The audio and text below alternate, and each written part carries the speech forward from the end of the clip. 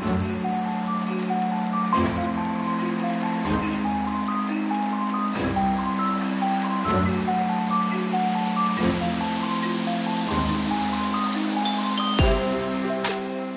Santa, how are you doing? Wonderful, thank you. Could I have a glass of milk? Oh, of course.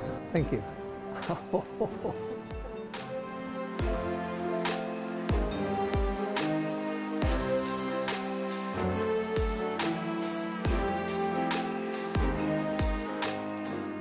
Well, Rick, this is Mrs. Claus's is my favorite place to eat in Barrie, and I was hoping we could make a reservation. Absolutely. You call me directly and we'll put you in, Miss, you and Mrs. Claus.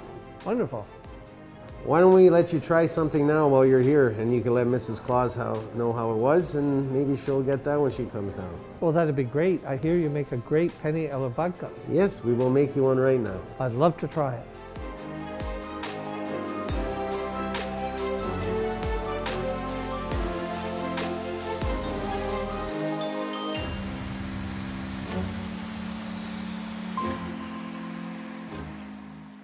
This looks great. I can't wait to get into it.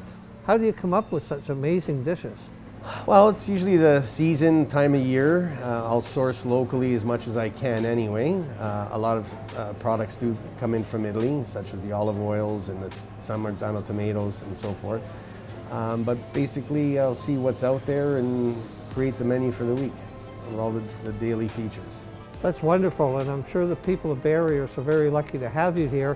They would probably have to go all the way to Italy to get food like this. Thank you.